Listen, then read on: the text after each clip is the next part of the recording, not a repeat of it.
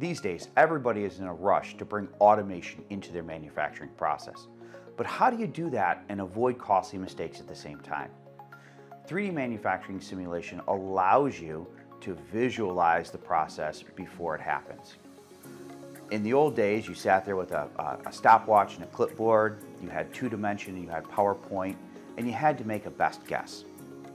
When it comes to 3D manufacturing simulation, you're able to take all of the elements of that environment, manual labor, robotics, when you implement those, you can actually see envelopes, collisions, and the interaction between that robot and the rest of the environment.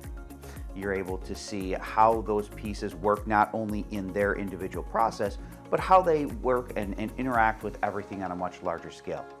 From macro to micro, everything in between, manufacturing simulation allows you to validate everything, not just visually, but also with data. That data allows you to make data-driven decisions and avoid costly mistakes that otherwise would have only come to light after the fact.